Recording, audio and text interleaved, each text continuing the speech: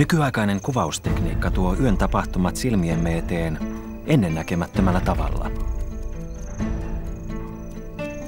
Lämpösäteilylle herkät kamerat ja valonvahvistimet antavat terävää kuvaa pilkkupimeässäkin.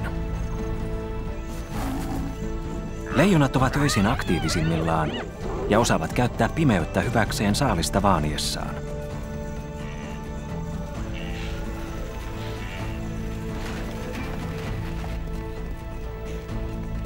Yö paljastaa leijonien todellisen luonteen.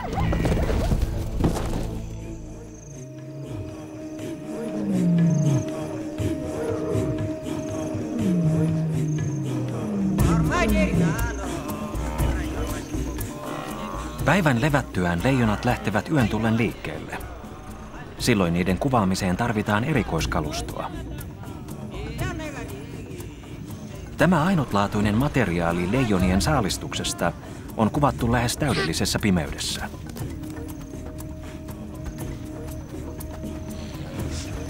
Yöllä leijonat eivät odota, että saalis tulisi niiden lähelle, vaan lähtevät itse sitä etsimään. Ne paikantavat saaliinsa hajun ja äänen perusteella.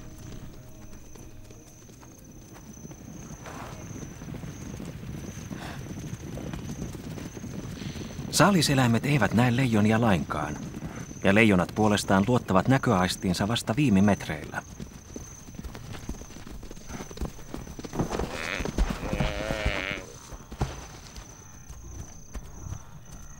Öinen saalistus tapahtuu tyypillisimmillään kolmen naaraan yhteistyönä.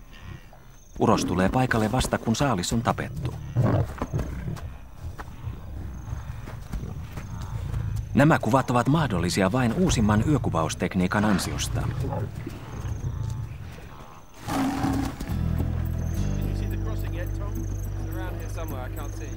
Leijonat saalistavat enimmäkseen öisin, mutta tähän asti niistä on ollut tarjolla yleensä vain valoisan aikaan kuvattuja otoksia. Nyt on olemassa keinot paljastaa koko totuus leijonien elämästä.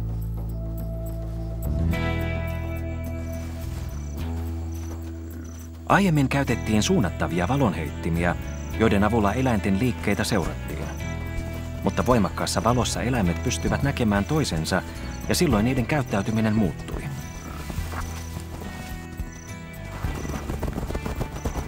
Ilman lisävaloa tavanomaisella kameralla ei voi kuvata edes täysikuun valossa.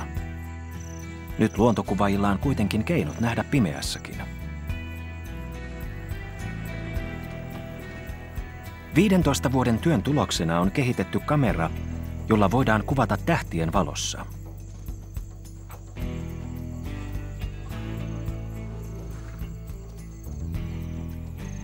Kuun valo on sille yhtä kirkasta kuin auringonpaiste.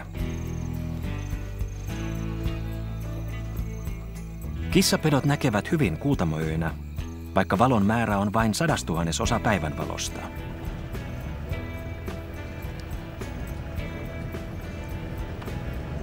Ihminen tarvitsee yökiikareita kyetäkseen ajamaan tässä pimeydessä. Valoisia kuutamojoita on vain muutaman kerran kuukaudessa. Uh, yeah, just, just. Oh!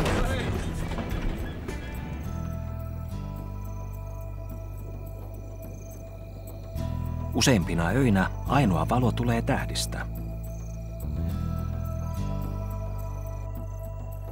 Ihmissilmä ei silloin pysty erottamaan juuri mitään, mutta herkkä erikoiskamera voittaa pimeydenkin.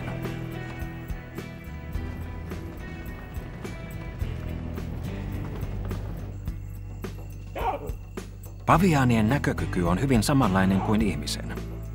Ne eivät näe petoja ja hakeutuvat yöksi puiden oksille turpaan.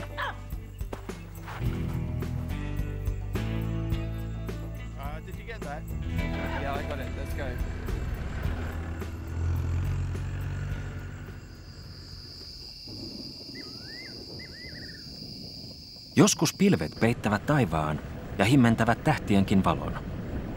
Silloin tarvitaan lisää erikoiskameroita ja laitteita. Tässä pimeydessä on syytä käyttää apuna infrapunavaloa.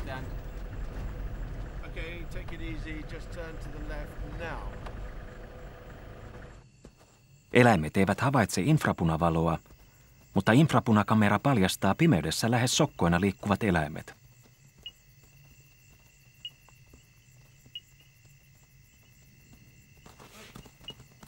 Voimakkaistakaan infrapunavalon heittimistä ei ole apua, kun eläimet siirtyvät kauemmaksi, mutta siihenkin pulmaan on ratkaisu. Lämpökamera, jonka erottelukyky on hyvin korkea.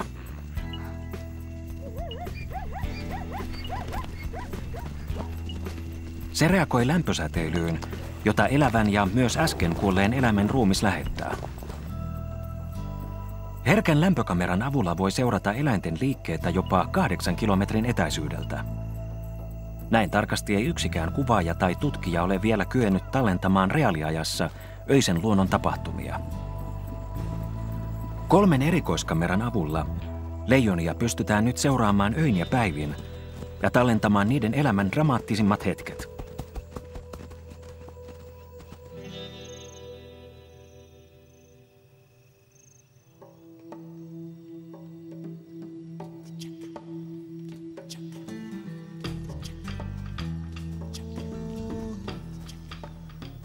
Päivän kuumimman ajan leijonat viettävät varjossa. Auringon laskiessa ilma viilenee hieman ja silloin pennut ovat kovin halukkaita leikkimään.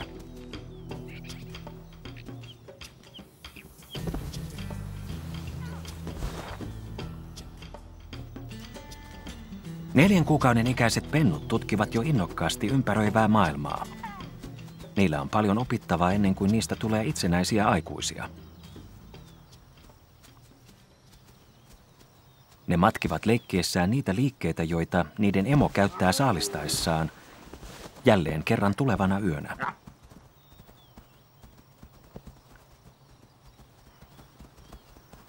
Useimmat leijonat saalistavat mieluiten yöllä. Yön tultua leijonia on tähän asti ollut vaikea seurata, sillä ne liikkuvat saalistaessaan pitkiä matkoja –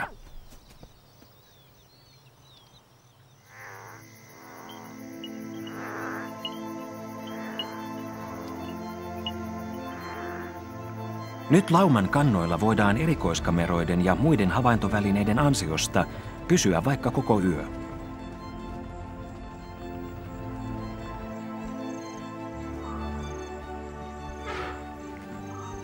Are you ready yet, Richard? Yeah, just give me a second. Kasvinsyöjät asettuvat makuulle märehtimään kuuttoman yön lähes täydessä pimeydessä.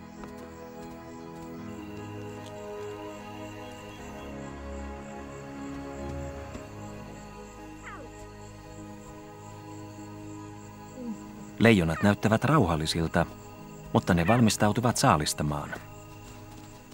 Pelkässä tähtien valossa ne näkevät korkeintaan 60 metrin päähän ja paikantavat saalinsa yöllä hajun ja äänien perusteella. Kuunnellen ja haistellen ne päättelevät, mistä suunnasta saalista kannattaa lähteä etsimään. Leijona naistit ovat erittäin tarkat, ja tyynen yön hiljaisuudessa peto tunnistaa heikotkin äänet ja hajut –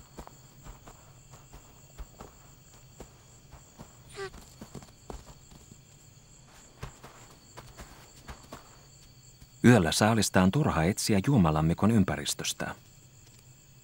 Jyrsijöitä suurempaa riistaa saadakseen leijonien on kuljettava savannilla jopa tuntikausia. Aikuiset naaraat komentavat pennut pysymään yhdessä paikoillaan ja lähtevät itse saalistamaan. Pennut ovat vielä liian nuoria seuraamaan niitä tositoimiin. Leijonat liikkuvat yön pimeydessä täysin näkymättöminä mutta niiden on toimittava nopeasti, sillä kuu nousee pian ja silloin niiden läsnäolo paljastuu.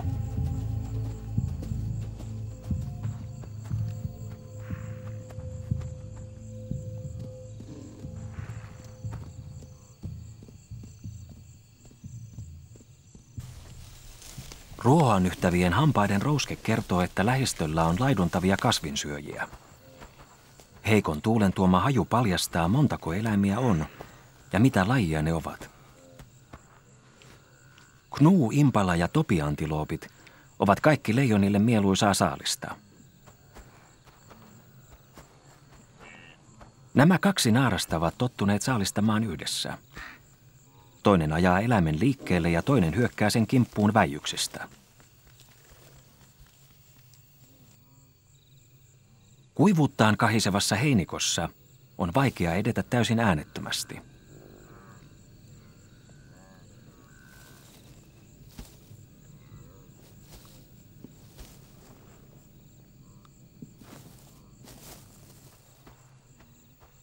Antilooppien herkät korvat erottavat vähäisimmänkin rasahduksen.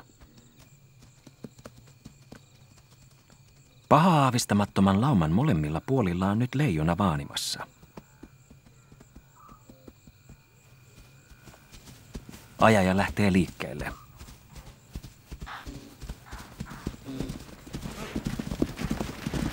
Sen käpälien raskaat tömähdykset ajavat lauman kohti väijyvää hyökkääjää. Topi Antilopin tuskanparadus kertoo, että ajo oli onnistunut.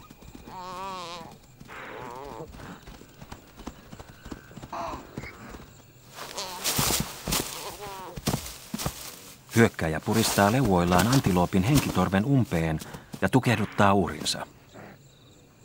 Penutkin kuulevat, että nyt on saalista saatu. Ne eivät liikahdakaan ennen kuin niitä kutsutaan. Mm.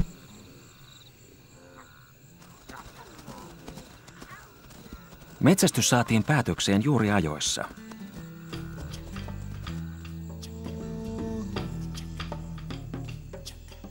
Nouseva kuu valaisee pian koko savannin.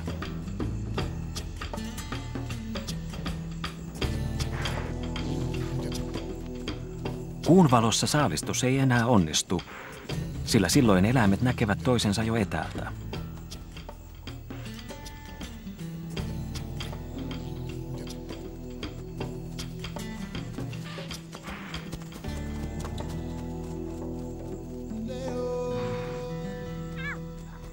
Ruoan kanssa leikkiminen on pennuille tässä vaiheessa sallittua ja pelkästään hyväksi. Sillä saaliin koskettelu, haistelu ja repiminen valmentavat niitä siihen hetkeen, jolloin niiden on itse ruvettava hankkimaan ravintonsa.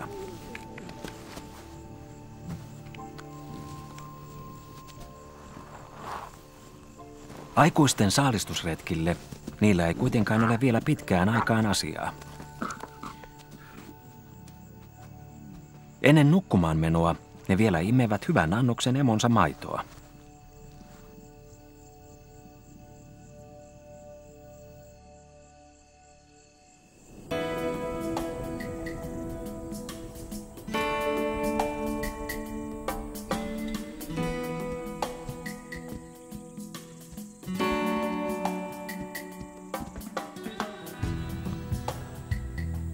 Aikuiset leijonat pysyttelevät päivällä enimmäkseen varjossa.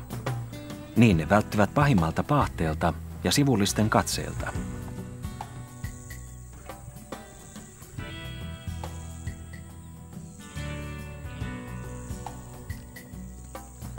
Näille jo varsin varttuneille pennuille päivä on turhauttavaa aikaa. Aikuisten nukkuessa ne vain katselevat ohikulkevia eläimiä, mutta eivät pääse niitä ajamaan.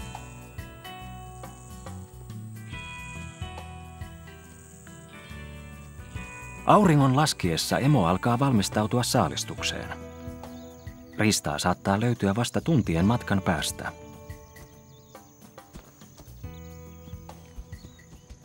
Kymmenen kuukauden ikäiset pennut pystyvät jo seuraamaan emoaan saalistusretkille eri puolille lauman satojen neliökilometrien laajuista reviiriä.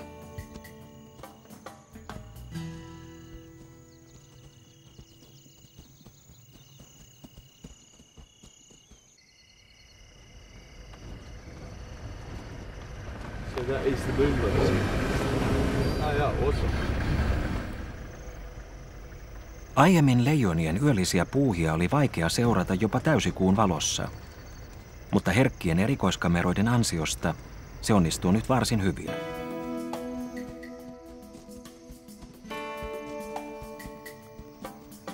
Leijonat etenevät vaivattomasti hyvää vauhtia heinikossa – Pennutkin on otettu mukaan tutustumaan lauman reviiriin.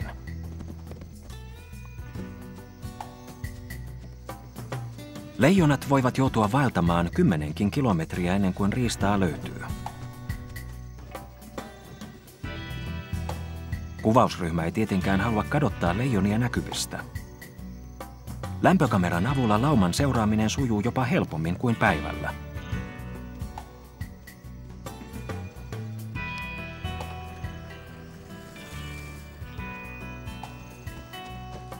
Kirkas kuu valaisee koko maiseman. Kissapedot näkevät yöllä kuusi kertaa kauemmas kuin ihminen, luultavasti aivan yhtä hyvin kuin herkkä erikoiskamera.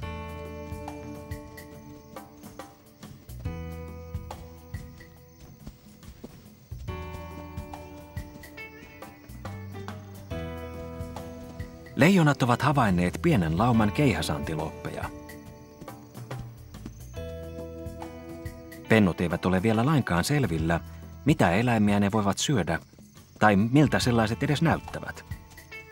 Ne menevät lähemmäs katsomaan.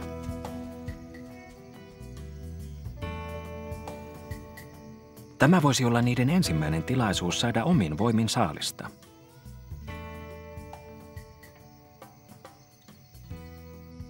Antiloopit vaikuttavat aivan yhtä uteliailta kuin leijonanpennutkin.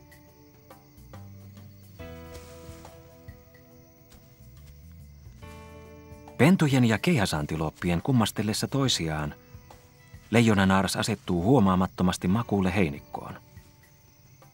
Antiloopit pysyvät rauhallisina, sillä kirkkaassa kuun valossa leijonanpennut ovat koko ajan niiden näkyvissä.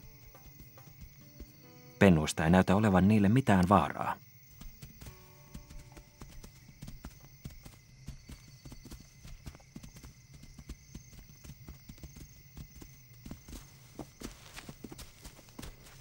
Uteliaat pennut lähtevät seuraamaan keihäsantiloppeja. Vain lämpökamera näkee heinikossa piilottelevan naaraan.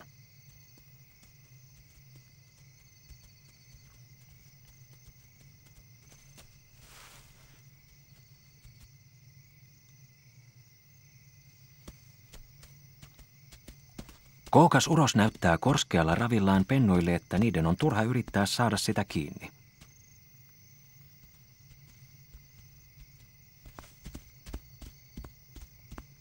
Se ei kuitenkaan tiedä, että aivan lähellä heinikossa piileskelee aikuinen naarasleijona.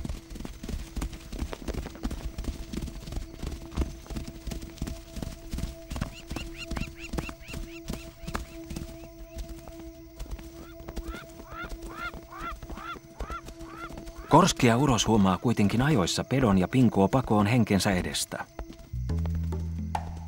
Naarasleijona pystyy syöksyssä saavuttamaan 80 kilometrin tuntivauhdin – mutta vain hetkeksi. Juoksemalla se ei saa keihäsantiloppia kiinni. Pennut ottivat näkemästään opiksi. Nyt ne tietävät, että keihäsantiloppi on leijonille soveliasta riistaa.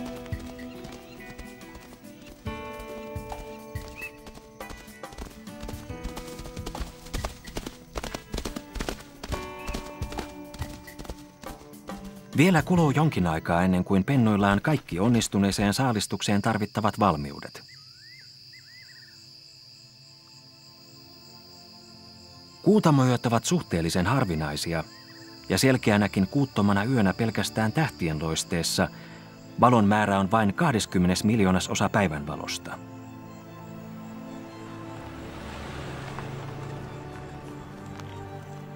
Monilla eläimillä on verkkokalvolla hämäränäköä parantava heijastava pinta.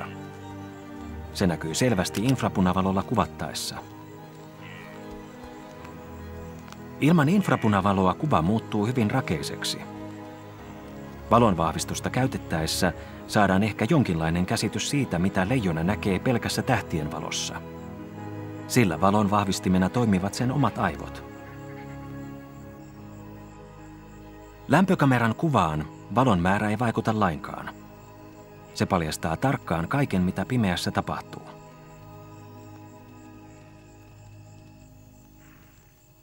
Hyvin pimeinä öinä kasvinsyöjien laumat kerääntyvät kukkuloille, mistä niitä voi olla vaikea löytää.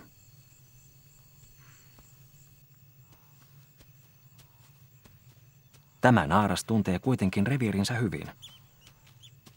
Saalistus voisi muuten sujua rutiininomaisesti, mutta tällä kertaa lähes täysikasvuiset, mutta vielä kokemattomat pennut ovat mukana.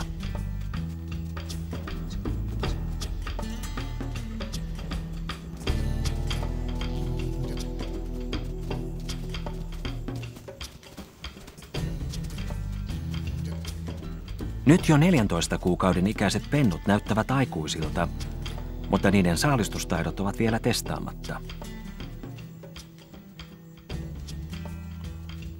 Emo jättäytyy muista jälkeen, ehkä toivoen, että jälkikasvu onnistuisi vihdoin hankkimaan ruokaa laumalle. Lähistöltä kuuluu knuunaaman liikehdintää. Knut ovat selvästi hermostuneita. Ne eivät näe juuri mitään tässä pimeydessä.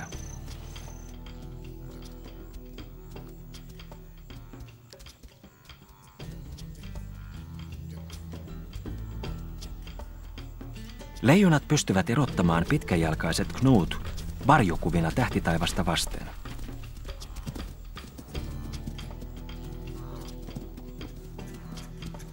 Yksi naaraspennuista ei malta enää odottaa, vaan lähtee liikkeelle ja kohta sitä seuraa toinen urospennuista.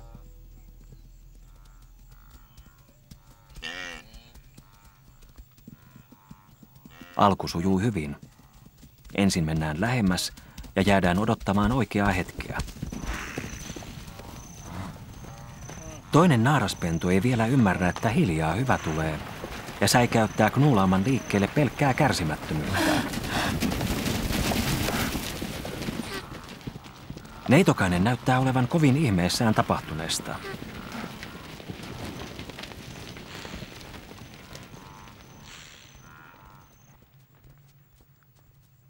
Emo ei ole järin innoissaan. Nyt on taivallettava taas monta kilometriä. Nuorten kärsimättömyys käy laumalle kalliiksi.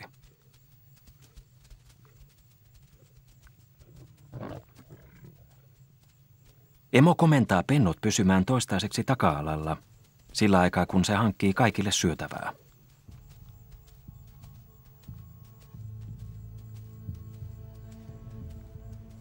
Se nuhkii ilmaa tavoittaakseen knuulauman hajun –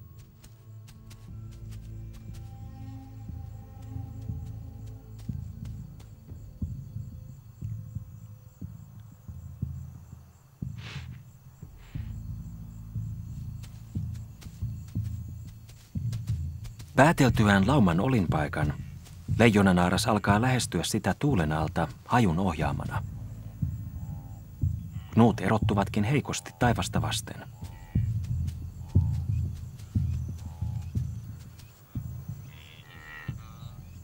Leijona ei näe niitä vielä, eivätkä ne näe leijonaa.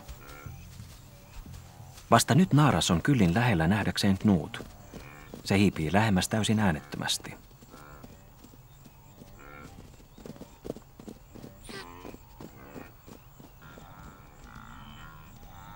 Nuut eivät aavista vielä mitään.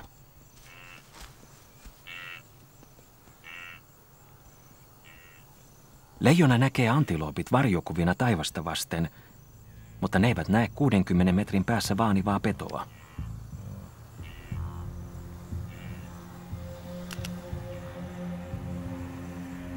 Infrapunavalossa koko asetelma paljastuu. Ja vielä selvemmin lämpökameran kuvassa. Knut eivät vieläkään aavista mitään.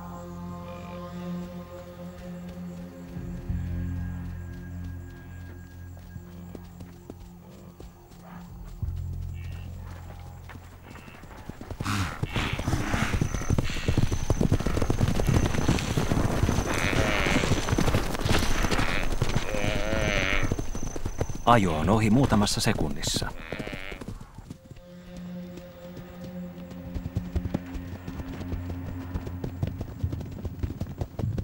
Leijona valitsi ehkä heikkokuntoiselta näyttävän uurin. Tai ehkä se vain kamppasi lähimmän eteensä osuneen. Joka tapauksessa se osoitti selvästi, miten yksi kokenut saalistaja hankkii elannon kuuden yksilön perheryhmälle. Sorkkien kumina kertoo pennuille, että jotain on tekeillä. Ehkäpä saalis on jo kaadettu.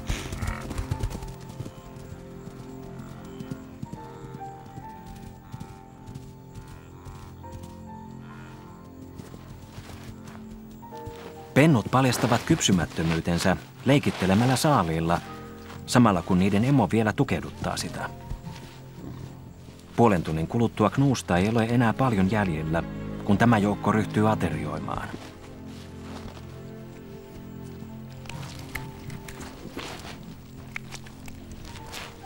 Pennuilla on vielä paljon oppimista, ja niiden on syytä seurata tarkkaan emonsa taktiikkaa.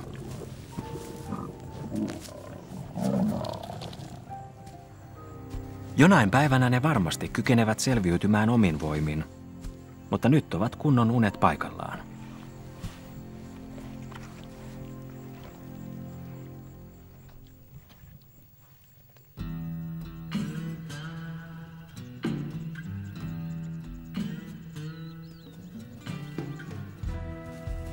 Nämä noin kaksivuotiaat nuoret leijonat ovat jo täysikasvuisia, mutta niillä ei ole vielä tehokkaaseen saalistukseen tarvittavaa malttia ja kokemusta.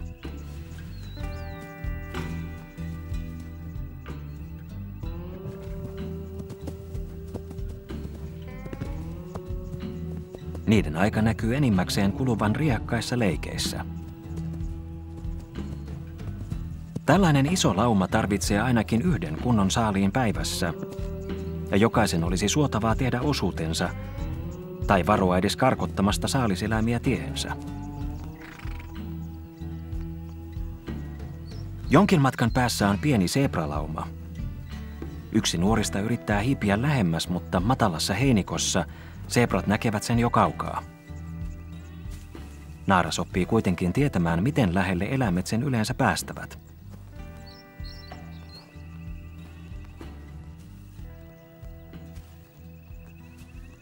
Emo näyttää mallia. Kärsivällisyys on aina valttia.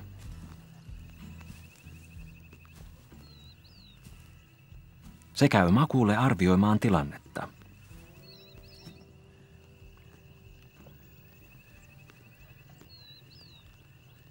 Tytär ei sen sijaan malta odottaa.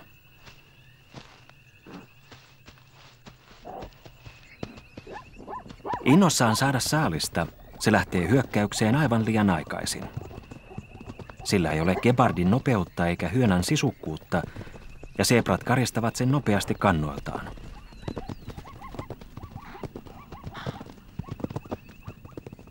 Ne siirtyvät nyt turvallisen matkan päähän leijonista, hyvissä ajoin ennen yön tuloa.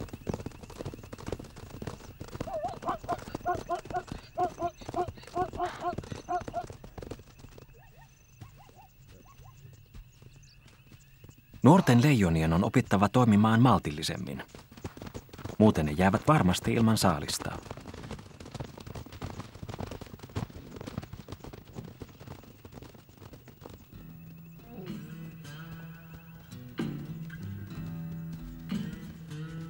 Tämä uros on kuulunut laumaan jo kolme vuotta, ja se on useimpien pentujen isä. Jälkikasvun on pian lähdettävä omille teilleen – olivatpa ne siihen valmiita tai eivät, sillä lauman molemmat aikuiset naaraat ovat taas kantavina. Uusien pentujen synnyttyä edelliselle sukupolvelle ei enää ole tilaa laumassa.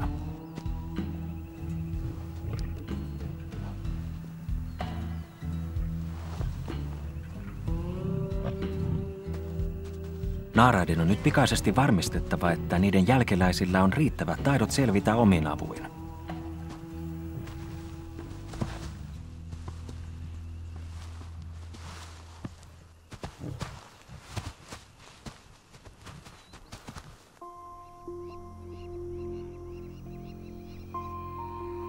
Täyden kuun aikaan savannilla on useana yönä hyvin valoisaa.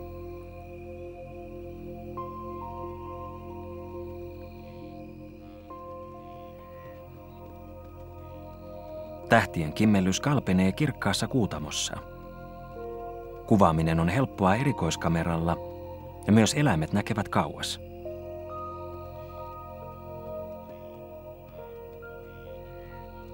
Laumat asettuvat yöpuulle –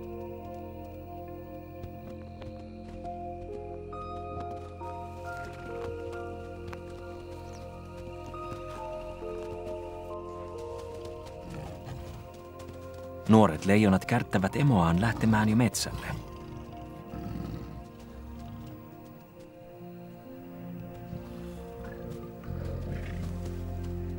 Niiden emo on huonolla tuulella. Se on kantavana eikä haluaisi tuhlata voimiaan hyödyttämään säntäilyyn kirkkaassa kuun valossa.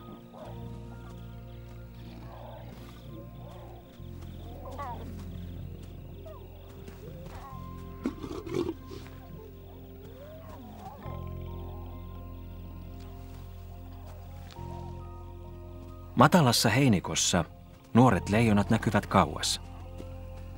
Niiden on opittava, että silloin mahdollisuudet saada saalista ovat varsin vähäiset.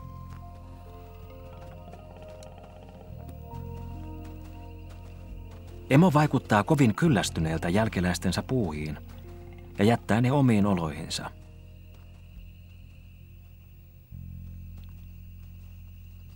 Ne ovat kuitenkin kovin kärsimättömiä ja kaipaavat kovasti jotain toimintaa. Ne huomaavat hieman loitommalla liikkuvan virtahevon poikasineen. Virtahevonaaras pystyy kyllä puolustamaan itseään ja poikastaan. Sen leukojen puraisu voisi hyvinkin tappaa nuoren leijonan.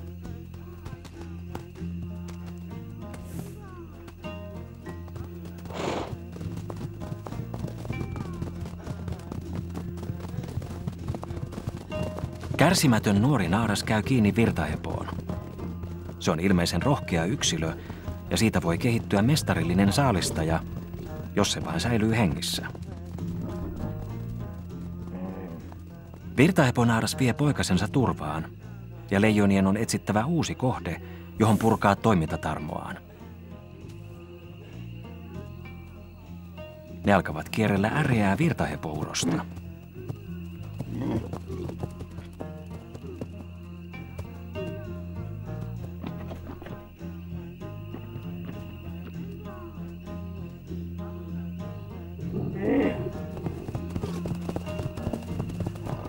Nuoret leijonat oppivat aikanaan, että 1300 kiloa painava virtahepo on viisainta jättää rauhaan.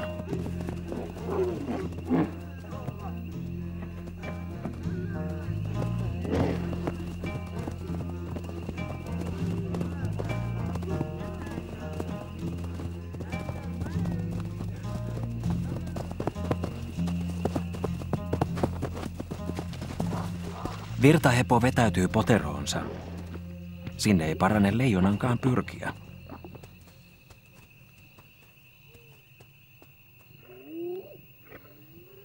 Jotain muuta toimintaa pitäisi nyt keksiä.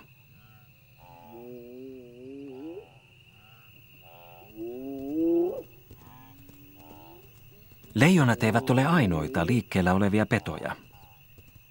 Hyenat metsästävät ajamalla saaliinsa uuvuksiin. Ne ovat koko ajan nuulaaman näkyvillä. Kuun valossa ne pystyvät helpommin valitsemaan uhrinsa isosta joukosta.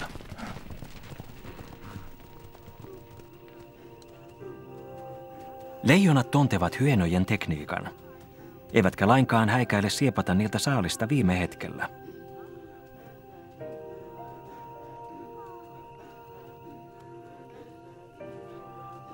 Nuoret seuraavat emoaan huomatessaan, että jotain jännittävää on tekeillä.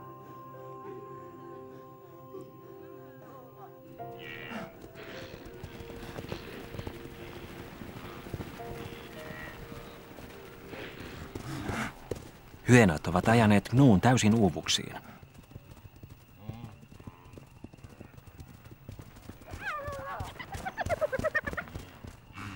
Naarasleijodan saapuessa hyönät vetäytyvät loitommalle.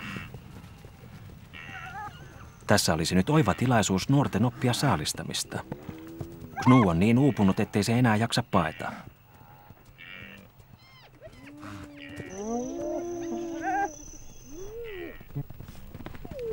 Kokelaat eivät kuitenkaan ymmärrä käyttää tilaisuutta hyväkseen. Niinpä niiden emo tarttuu antilooppiin ja pitää sitä paikallaan.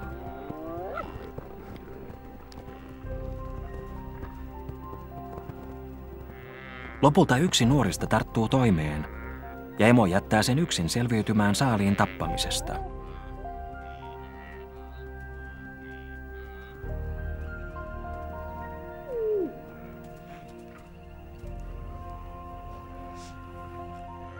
Nuori naaras tukeduttaa uhrin aivan samoin elein, joita se on harjoitellut jokaisen saaliin kanssa pienestä pennusta lähtien. Tämä on tärkeä hetki sen elämässä. Nyt se on osoittanut hallitsevansa leijonalle tarpeelliset taidot.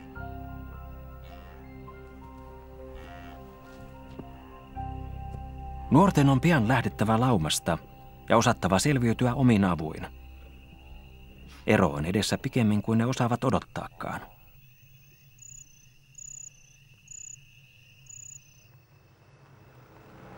Kuutamööt ovat pian ohi, ja läpitunkematon pimeys lankeaa taas öisin savannin ylle.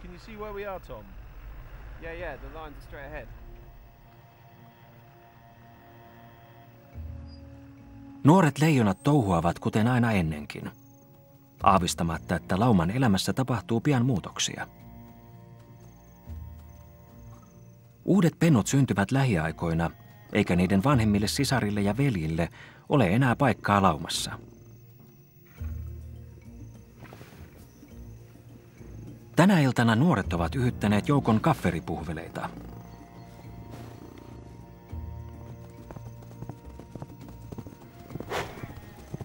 Sonnien mahtavat sarvet ja terävät sorkat eivät näitä nuoria huligaaneja näytä pelottavan, ja onhan niillä sentään pimeys suojanaan.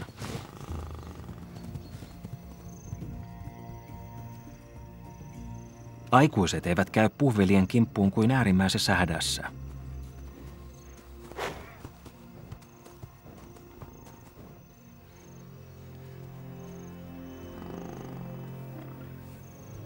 Nuorten huomiota herättävä, mutta päämäärätön aktiivisuus alkaa jo haitata lauman saalistusmahdollisuuksia.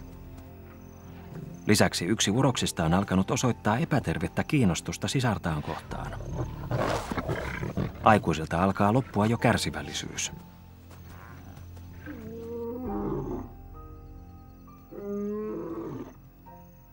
Tätä laumaa johtaa kaksi aikuista urosta, jotka ovat veljeksiä. Toinen niistä kutsuu nyt veljään apuun. Yhdessä urokset tekevät nuorille selväksi, että niiden on lähdettävä laumasta.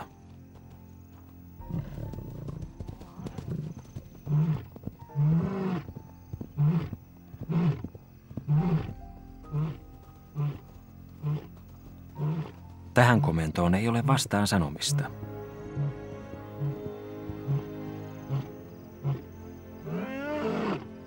Nyt nuorilla on edessään elämänsä ankarin aika. Niiden on opittava saalistamaan tehokkaasti tai kuoltava nälkään.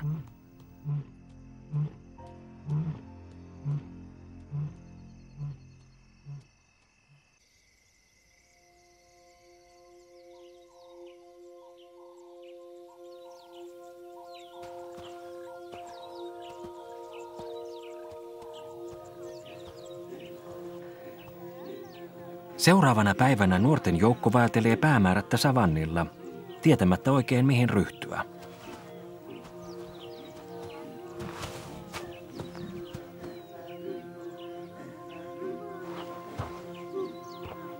Yksi on yhyttänyt varaanin, ja nyt kaikki leikkivät sillä osaamatta ruveta sitä syömään.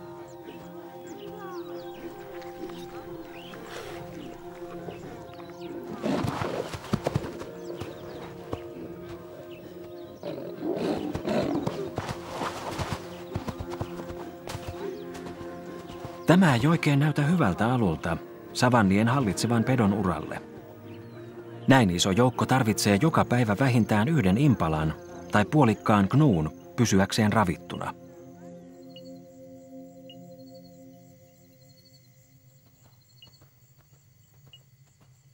Yö on jälleen säkkipimeä ja riistaa on paljon liikkeellä. Aloittelijoidenkin luulisi saavan nyt saalista.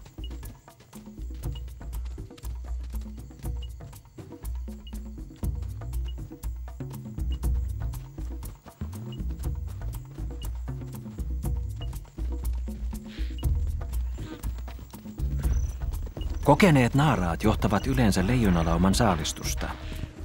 Ne toimivat yhteistyössä ja ajavat saaliin toistensa ulottuville. Nämä nuoret vain säntäilevät sinne tänne. Niiden on mitä pikimmin opittava toimimaan suunnitelmallisesti yhdessä, yön pimeydessäkin.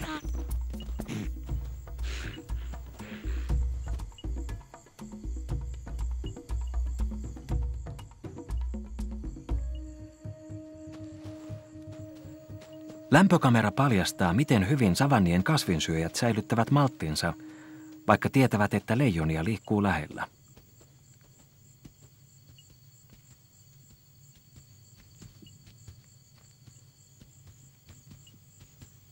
Leijonat talustavat heinikossa äänekkäästi ja paljastavat läsnäolonsa jo kauan ennen kuin ne pääsevät edes hyökkäysetäisyydelle.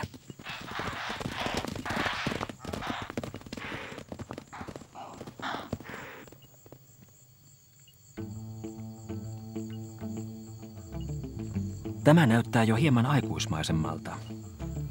Mutta nuori naaras ei malta hiipiä tarpeeksi lähelle, vaan lähtee juoksuun liian aikaisin.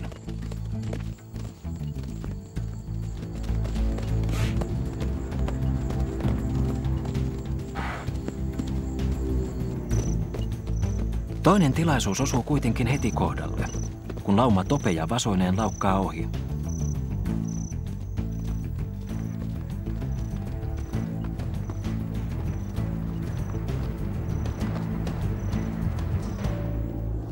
Nyt naaras onnistuu juoksemaan kiinni pienen vasan. Tämä on sen ensimmäinen itse hankittu saalis.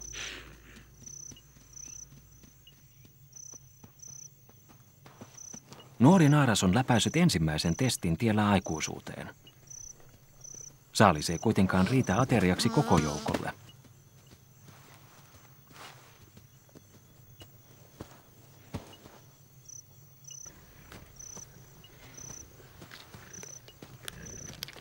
Aluksi muut vain katselevat vierestä, mutta sitten nälkä voittaa kaikki estot.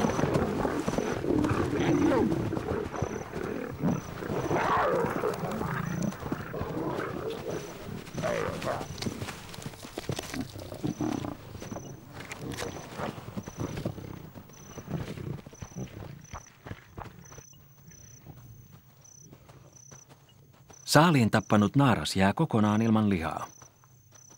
Sen ja sen siskojen on syytä hankkiutua pian eroon ahneesta velistään. Kotilaumaan ei kuitenkaan ole paluuta, sillä siinä on jo tarpeeksi aikuisia naaraita. Siskosten on nyt selviydyttävä omin avuin.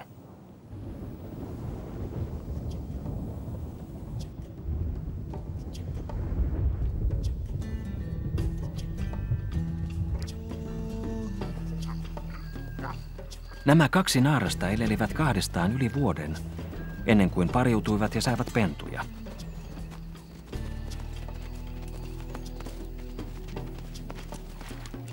Ne ovat tottuneet hankkimaan ravinnon itselleen, pennuilleen ja myös pentujensa isillä.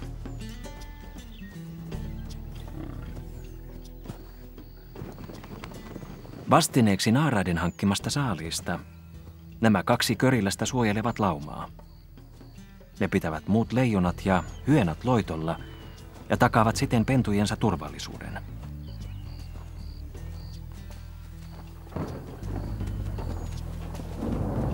Pennut rientävät tervehtimään uroksia.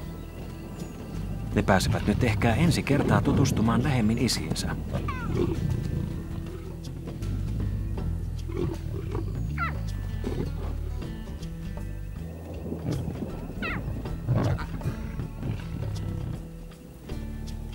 Nämä kumppanukset elivät vuosia kahdestaan ja valtasivat itselleen hyvän reviirin. Niistä kehittyi taitavia saalistajia, mutta saatuaan perheryhmän ympärilleen, ne ovat tyytyneet vain siittämään pentuja ja komentelemaan muita. Leijonat nauttivat tihkusateesta. Se viilentää niitä mukavasti ennen öisiä saalistusretkiä.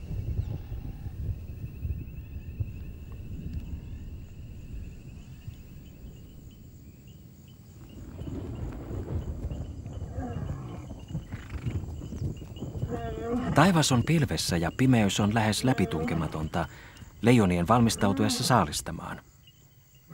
Herkimmänkin digitaalikameran kuvassa näkyy vain epämääräisiä hahmoja, mutta lämpökamera tuo eläimet verevinä esiin. Aikuiset naaraat karjahtelevat tehdäkseen muille leijonille tiettäväksi, että ne aikovat saalistaa tällä alueella tänä yönä. Tämän pimeämpää näillä tasangoilla tuskin voisi olla. Valon määrä on yksi 200 miljoonas osa päivänvalosta. Sebrat eivät pysty näkemään leijonia, eivätkä leijonat näe lauman hännillä ontuen kulkevaa sebraa. Loukkaantunut eläin olisi oiva saalis leijonille, jos ne vain onnistuvat löytämään sen.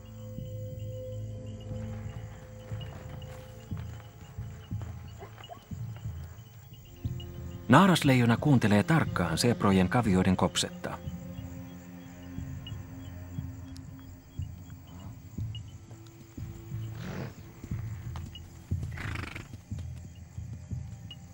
Ontuva zebra jää muista jälkeen. Tässä pimeydessä leijonan on päästävä kuuden metrin päähän siitä nähdäkseen sen kunnolla. Seproilla ei ole vielä aavistustakaan, että leijona on päässyt hiipimään lauman keskelle.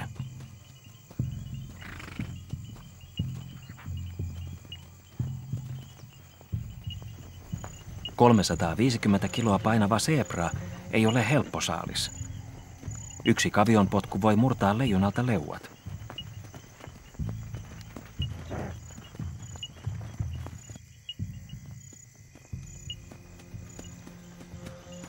Leijona näyttää viivyttelevän, ikään kuin se odottelisi jotain tiettyä uhria.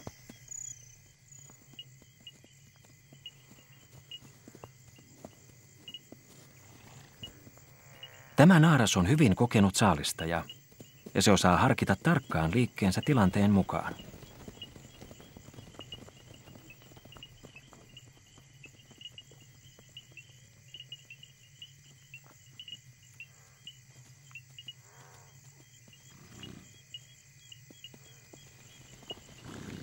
Naaras on valinnut uhrinsa ja lähtee hyökkäykseen.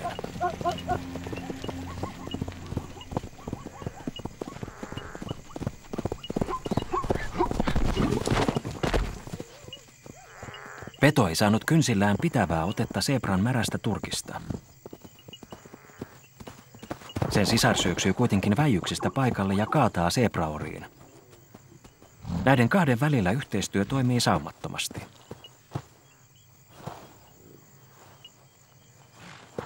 Naarasleijona ei pysty yksinään pitämään voimakasta orja paikoillaan, mutta yhdessä siskokset tekevät nopeasti lopun uuristaan.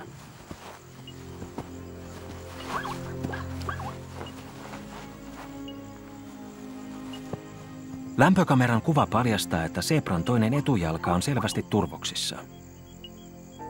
Tämä on lauman hänillä ontuen kulkenut yksilö.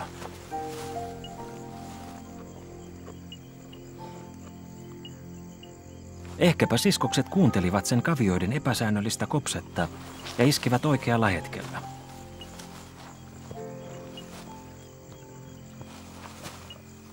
Ilmeisesti leijonat siis pystyvät valitsemaan uhrinsa muiden joukosta sitä edes näkemättä, lähes täydessä pimeydessä.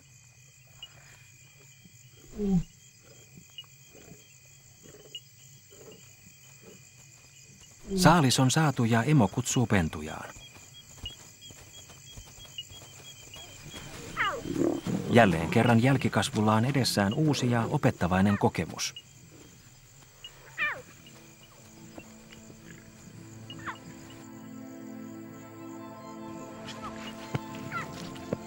Modernia huipputekniikkaa edustavat erikoiskamerat ovat paljastaneet, että päivisin varjossa laiskoina loikoilevat leijonat ovat öisin tehokkaita, mutta kärsivällisiä ja erittäin taitavia saalistajia.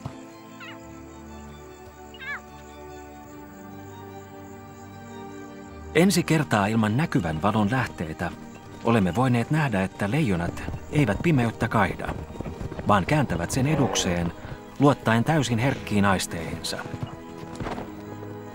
Öiset saalistusretket antavat myös arvokasta oppia seuraavalle sukupolvelle, joka varttuessaan pian ymmärtää, että yö on leijonan aikaa.